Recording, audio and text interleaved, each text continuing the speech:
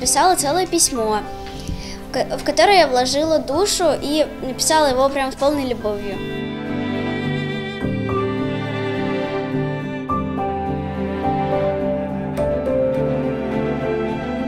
Через эту акцию мы в детях воспитываем чувство любви к родине, о том, что ее нужно защищать. И самое главное, в нужный момент поддержать наших защитников Родины, дать им силы, уверенности на победу и что мы все их ждем домой.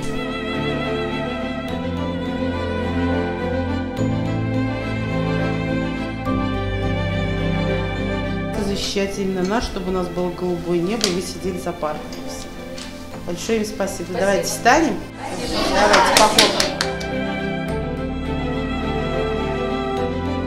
Дети дописали письма нашим защитникам, и один из наших зеленодольцев в скором времени отправится уже, э, подписав третий контракт, третий раз в зону СВО.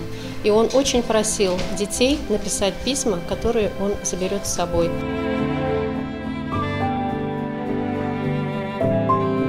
Вот ждем ваших писем. Получить надежду. Когда читаем письма, это получается как общение с вами детьми. Солдаты ждут, надеются.